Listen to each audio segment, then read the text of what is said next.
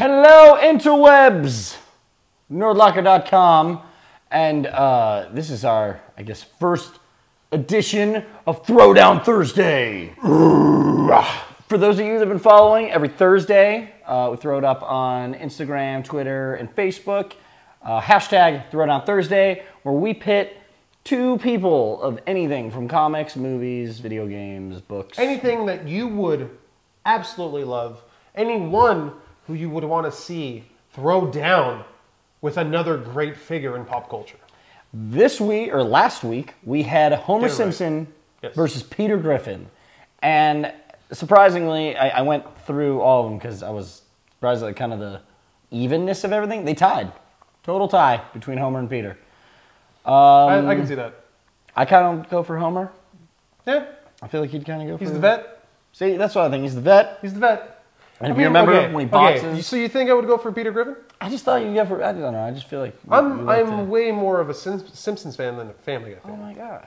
Simpsons, I think, holds a near and dearer place to my heart. I have Me more too. memories of Simpsons. Although fun, Family Guy at times can be funnier, Yes. but they're funnier for a different reason. Anyways, Totally different. Either Homer way. Simpson, I believe, would choke the shiza out of uh, Peter Griffin, uh, Bart style. So there. I, I go. I go with Homer.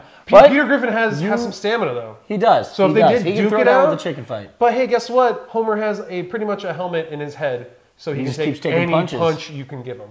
So hey, guess what? Homer wins. Either way, you guys voted a tie. Glad that y'all participating. This week, we've got something crazy, or not really crazy. It's our next fight, and it is Batman versus Iron Man.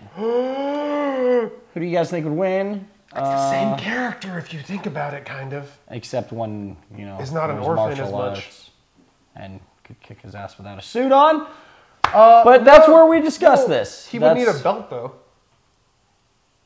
I don't know. Let's let's leave it up to the comments. I want to see what you guys know. think. He usually knows. No, I know. I just don't want to get into it right now because we'll discuss it next week. Because it's an even fight. It's not an even. They fight. both rely on technology in some way, shape, or form.